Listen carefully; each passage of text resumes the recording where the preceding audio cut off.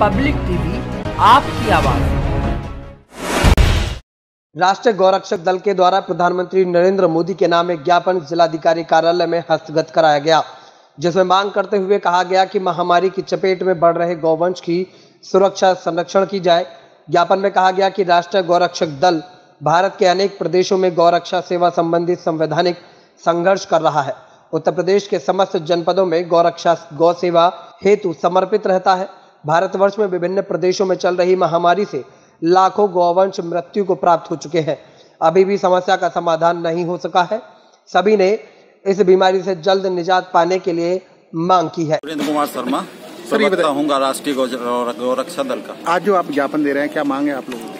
हमारे यहाँ जो है हिंदुस्तान में इस टाइम जो है गायों पर एक भीषण त्रासदी आई हुई है। बीमारी ऐसी बीमारी आई हुई है जिसका जो है इलाज जो है राजस्थान सरकार बिल्कुल भी नहीं कर पा रही है। राजस्थान सरकार द्वारा जो गौरक्षा गौरक्षा के लिए प्रयास बिल्कुल नहीं किए जा रहे हमारा ये माननीय मुख्य, माननीय प्रधानमंत्री जी से अनुरोध है कि राष्ट्रीय गौरक्षा के तहत हम जो ज्ञापन दे रहे हैं, उसमें ये अनुरोध है कि हमारी जो गाय हैं, जो गौमाता हैं, जिन्हें हम गौमाता कहते हैं, पूजनीय है हमारी, जिनमें चौरासी लाख देवताओं का निवास है और उसकी औषधियों से हम अपने जीवन को सुरक्षित करते हैं। उन गौ माताओं की रक्षा हेतु उचित और अच्छे प्रबंध किए जाएँ